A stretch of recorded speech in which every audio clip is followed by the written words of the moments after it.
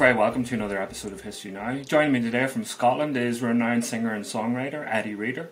Eddi is here today to tell us the fascinating story of her great uncle, Seamus Reader, who was active in the Irish War of Independence in Scotland and then later in Ireland. It's a fascinating topic, and I'm really, really delighted that Eddi could join us today to speak about it. Eddi, uh, welcome to the show. Uh, I'm delighted you could join me. This is a story I came across a couple of years ago when it started to appear in the Irish and Scottish press about your your great uncle. Can you tell us a bit where this, who he was, and where this story began?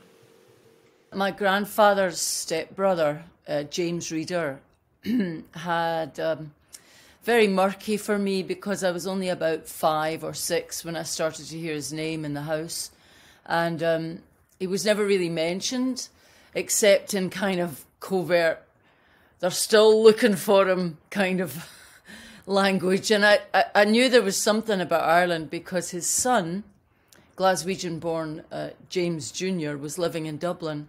And every time we hit Dublin, we went to see James and Molly in their little rose covered terraced house in Dublin. And um, James, I got a call when they when they were in the care home saying that all the stuff was going in a skip. And I got there with actually Shay Healy. I don't know if you know Shay Healy, the uh, great TV personality in Ireland. He, he and I had become friends through music. Had come to, he had come to some of my shows, and I said, "I've got all this stuff from this old uncle that's something to do with the war. I don't know what war.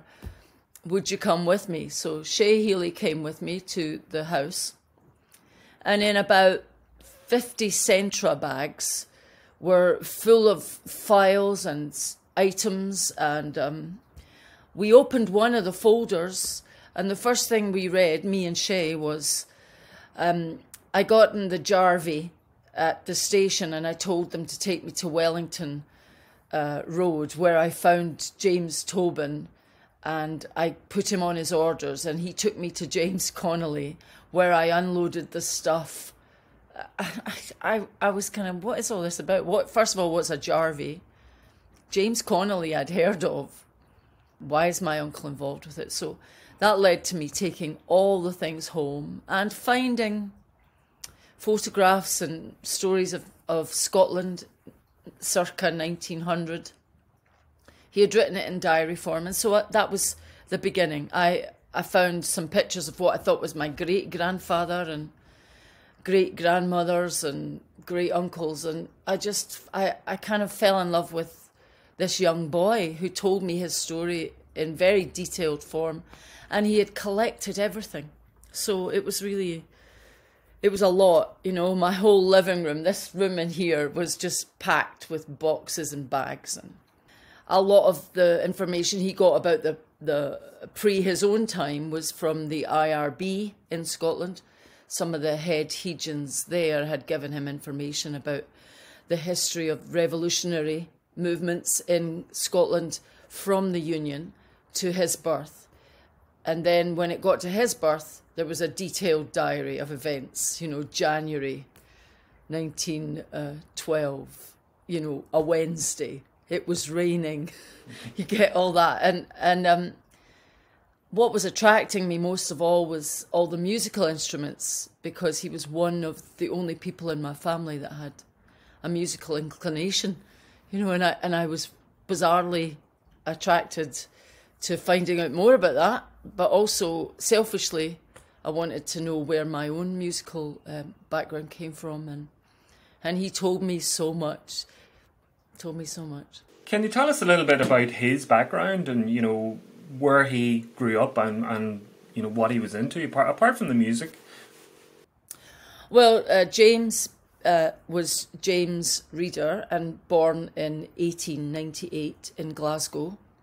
His father and mother catherine lindsay and charles reader my great grandfather uh, who was in the british army fighting in the african war the boer war he came back and started agitating with John Maclean to stop war in South Africa. He also started, him and his, his wife were very much Irish Irish sympathisers and they lived in the Garngad, which was a very poor area of Glasgow, and it was surrounded by um, Irish immigrants from the famine times. um, and maybe second generation children were James's playmates. When his mother died, his father married a woman called Elizabeth Brennan from Lurgan, and she went on to have my grandfather, um, Daniel. And Elizabeth Brennan, he, he talks about how he got some uh, rebel songs from Elizabeth Brennan. He heard a lot of Irish stories from Elizabeth Brennan. But his uh, nature was more attracted to military scouting, and the Baden Powell Scouts had their first movement in Glasgow, and so he joined that and quickly became captain. And uh, his friends, being of Irish extraction, were all a bit scathing of the British military kind of feed that was the British Baden Powell Scouts. And they encouraged him to join the Irish Scouts because the Irish Scouts in Glasgow were more focused on Celtic background, mythology, story, song, which was key for him, song and music. So he learned the bagpipes, he learned the harp, he learned the fiddle when he joined the Irish Fianna. He then was more connected to his own Scottish mythology and background than he was when he was in the British military, militaristic Baden Powell Scouts.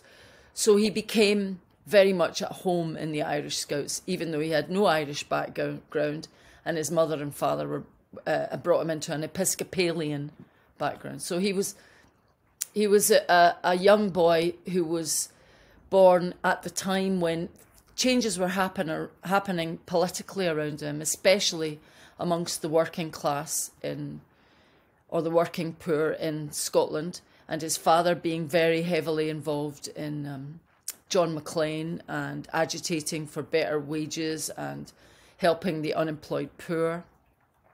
Uh, there was no dole then, so. And his grandfather, my great grandfather, Jake Reader, would hold workshops in the Gall-.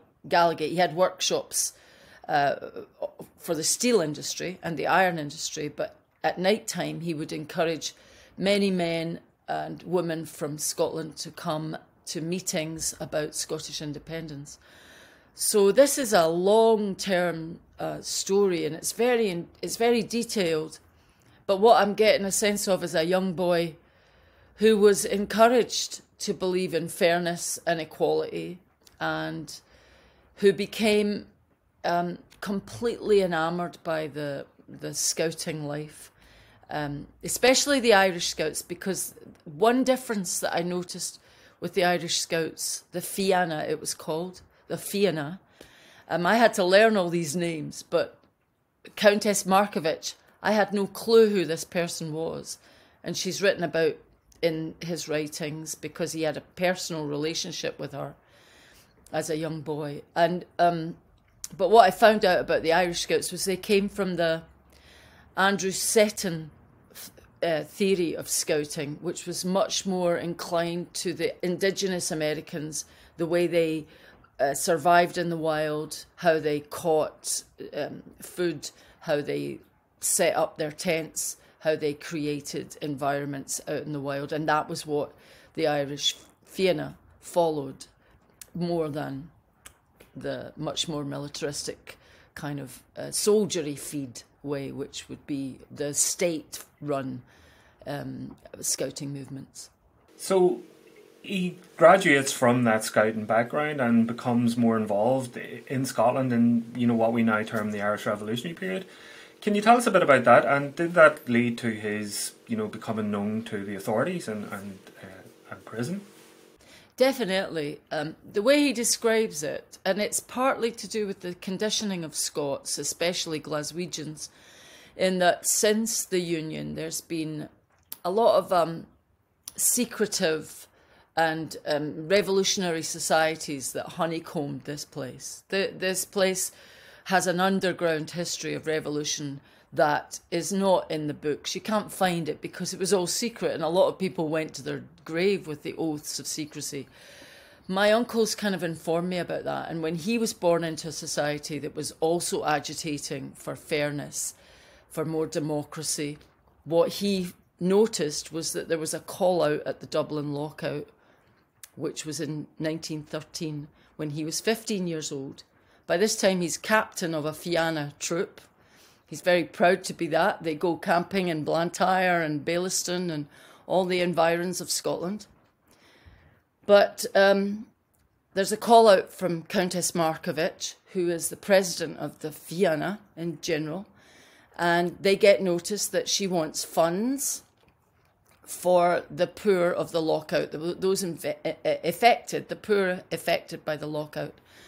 So they have saved 13 shillings and 10 pennies, I think, something like that, approximately, for their first international camp, which was to be in Dublin, or the outskirts of Dublin, when they decided to half it and take nine pounds over on the boat with Seamus, now called Seamus because he's taken on the Irish form of his name.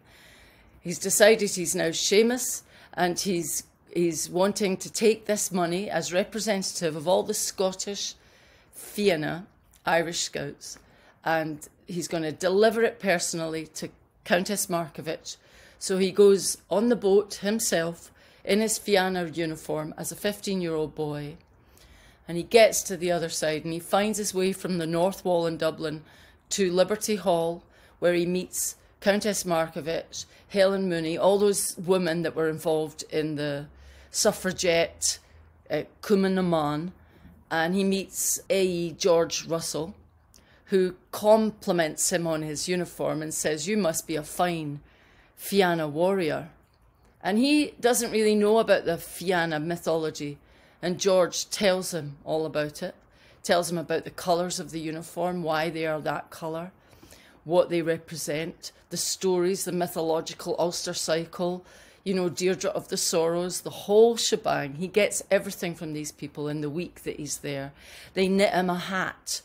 They, uh, they take him around Dublin to see the poor of Dublin and how the, it's affected. They fall in love with him. He falls in love with Countess Markievicz and her little puppy dog, Poppy Angel Face, he becomes Countess Markievicz's beautiful soldier from Scotland. And he, the first message he was asked to do was to go back to Scotland and to ask the children to provide broken chanters and broken instruments so that they could all have them and start the Fintan Lalor flute band.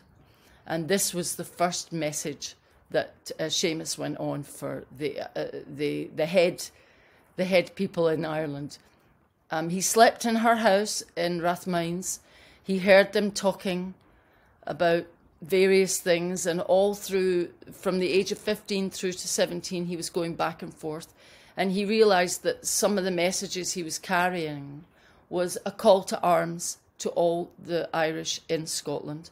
So him and his scouts would be sent with messages to a certain man in in Carlisle or in Dennistoun or in other places as far away as Edinburgh. And they would go and they would deliver these messages and come back. They would brush up the scout hall and put the tablecloths ready for the tea, for the meetings that John Maclean would be having that socialists would be having, that the Cumann na mBan would be having, that the suffragettes would be having, that the Irish IRB would be having. And that was key. They noticed him.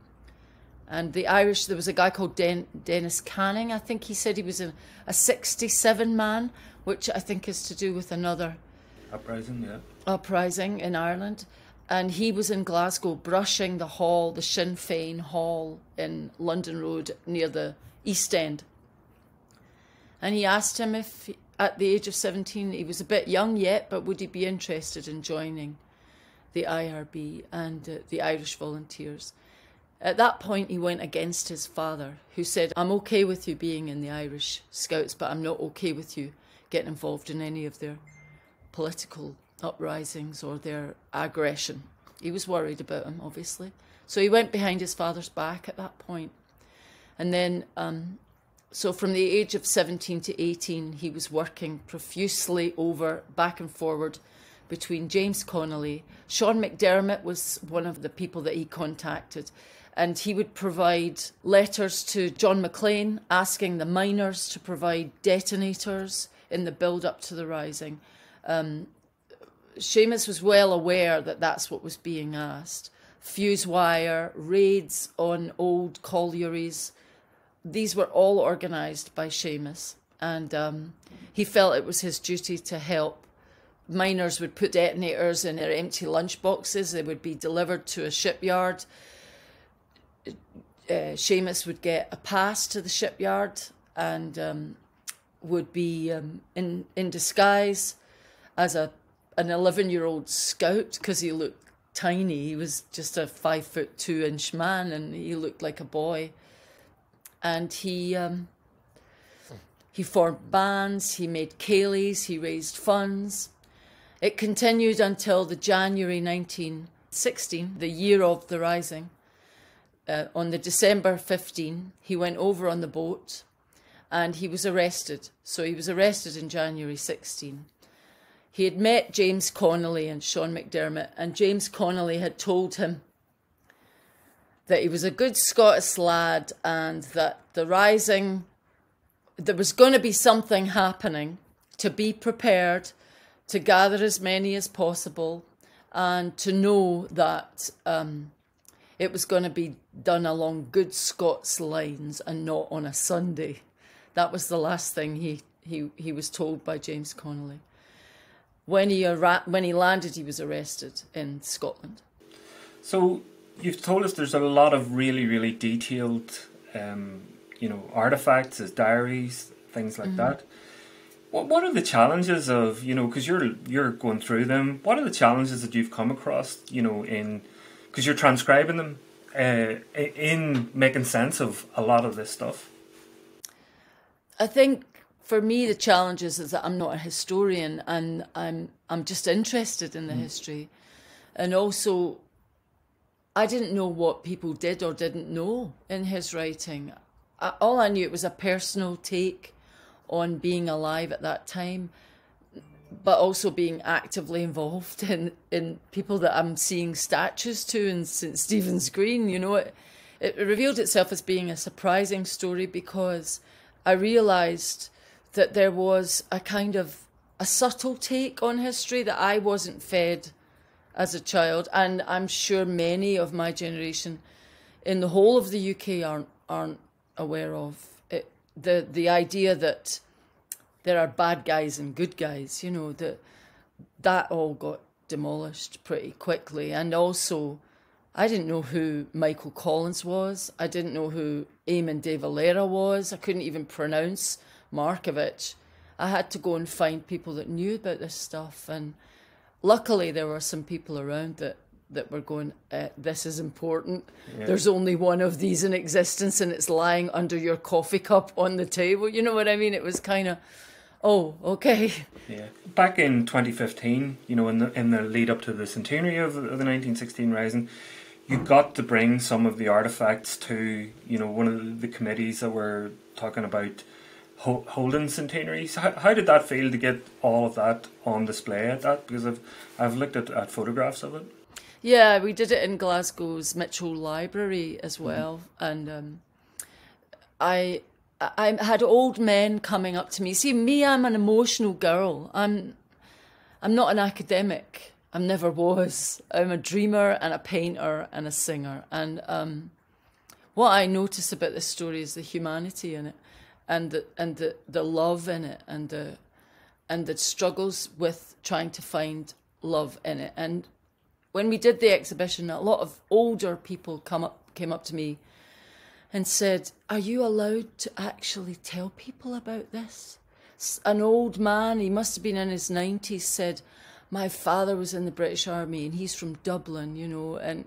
I could tell that he'd lived a life of prejudice and sectarianism, and I've only had a flavour of it. Not that I've paid any attention because I don't believe it's worth my attention, but I, I do know it's there. And I've noticed that just by finding this stuff has created um, a lot of anger towards me in many areas of Twitter and, mm. you know, I should burn it all, yeah. which is very interesting. Mm. I mean, I always think that if you want a child to grow, the child needs to have the whole palette of information all the languages, the Ulster Scots, the Gaelic, everything. It has to have it all so that it can regurgitate it as new things and new creativity and advancement.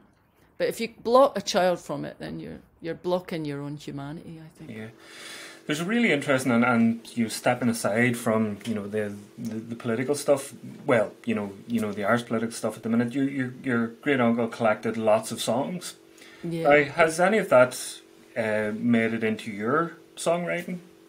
Absolutely. Um, one was Deirdre of the Sorrows, which I didn't know was Deirdre of the Sorrows, but it was a song called um, Deirdre's Farewell to Scotland, and that was that piqued my interest because it's about Scotland, and I put it on Cavalier, the last album I made. It's just me and um, Steve Hamilton on piano, and I picked out the melody that was written in the little aged parchment that Seamus had collected. I found that the melody was so haunting. I had no idea it was about Ulster myth cycle. I had no idea what the story was. I only knew this woman had come from and es- was escaping from somewhere and was going to Argyll and was hiding there with, with her lover. And the lover was being chased by the King of Ireland. That's all I knew. And it was John Spillane who then sat me down and said, This is the story of Deirdre of the Sorrows, which is kind of like a Snow White story. And I'm incredibly fascinated by what human beings invent in their head as far as how they get it, where they get it from, the strands of it. It's like finding gold in a junk shop. You know, you, you just, you get, you unearth this stuff. And I felt that when I was singing it, I was singing about my land, but I was belonging to another land and thanking this land for, for bringing me safety for at least a short time and I and at the same time I was watching the news where refugees were being washed up on the shore and I felt very very much connected to that song and doing it and that was uncle that was direct from my uncle Seamus. So with all of the artifacts, the diaries, things like that, there, what are are you planning on? You know, writing these, producing a book on them, or anything like that? I would like to. I'm getting it into a state. I want to just make sure there's a there's a, a revolutionary summary of why it led to the point that he was born. I also want to try and talk about my discovery of it in the light of being born when Scotland is asking itself about independence, which was kind of the same question a hundred years ago for Ireland. Yeah. And the Scots, it wasn't a big enough movement for the Scots to to go for it. Only with the with the dawning of World War II did the Scots start to assert themselves and and create um, official political bodies um, with people like Wendy Wood, Ranald MacDonald, and and other other folk that that Seamus observed, and they were asking the Irish if they could help them in return after Scotland had helped Ireland, and the resounding answer was no. Of course it was Dan Breen was friends with my uncle Seamus, and he was asked to go by the Scots to just try and encourage a Scottish connection. Um, but the answer was no, for very good reasons. You know, they had a deal with England at that point. 1934 in in Scotland, it was a very dangerous place to be uh, someone who was looking for democracy and possible republicanism and possible uh, uh, removal of the union. It was dangerous for Seamus, and he was shot at in Glasgow Green. And at that point, he decided to bite the bullet and leave, bite the bullet and leave, uh, leave behind his beloved Scotland.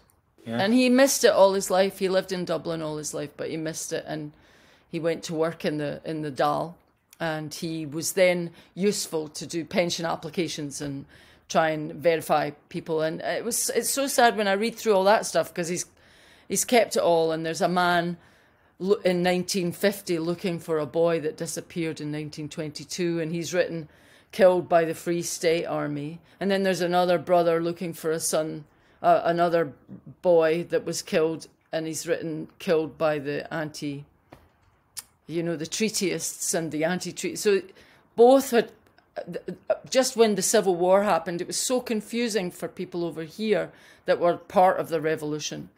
One of the wonderful things about in, in the musical thing as well is that what I brought home from Ireland was a harp, um, a harmonium, a piano, five violins.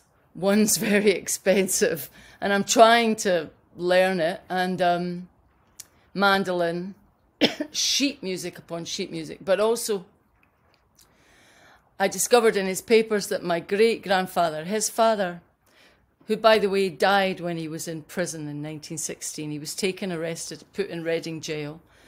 Edinburgh Castle first, Duke Street, Edinburgh Castle, then Reading jail as a political prisoner.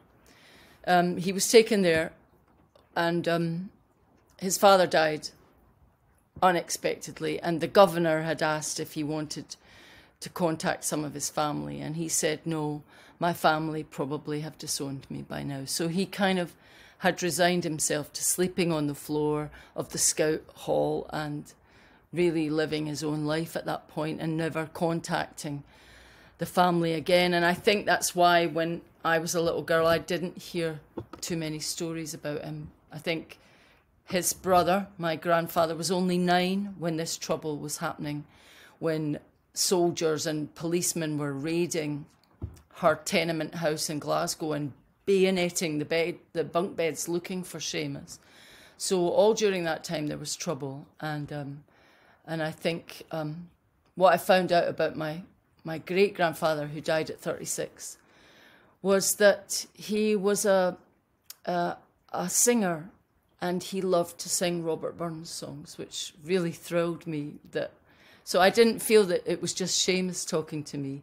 I felt that it was my ancestry, and you know, it was it was a remarkable find for me. And nobody in my family's interested except me, but uh, it's kind of. It's, I'm hoping that the rest of Scotland will be interested, especially in their revolutionary history. You know, it's like I couldn't give it to the Irish really fully in in full heart because it's a Scottish story, and I couldn't give it to the Scots because it's an Irish story. So I'm trying to figure out a way of of playing it so that both communities find out how connected they were yeah. at that time. I just want to show you him. So here he is at age 10, Irish Fianna. And also then when he was 16, I mean, when he was 18 in 1916, this is his case from Reading Jail. And in it, it's unbelievable. This is his cup, which he stole from Reading Jail. and the chess set that he stole from Reading Jail. And the books that he stole from Reading Jail. That Pride of Place is his personal drawing by Countess Markievicz of him and the Fianna. Wow. Wow. That's qu- quite a collection there, just, and I'm sure that's just a small piece of it. Eddi, thanks again. It's it's a fascinating uh, topic. I'm looking forward to seeing you know what else you, you are um, going to bring to this story. Well, I have real ambition for it. My intention is that Spielberg gets it and turns it into a movie because it's a young, beautiful boy that just grew up with an idea that everything should be fair, and he worked to that end all the time. You know, that's that's all he was concerned about was being a good scout, and at the end of his life in Dublin Harbour, he was coaching young women in sea scoutry. So he, uh, he was way ahead of his time. He was a, a theosophy student and um, he believed in yogic practices and Middle Eastern philosophies. So he was, and he was a Rosicrucian at the end. So he was very much involved in liberty for, for the common man and woman. Thanks very much, Eddi. You're welcome.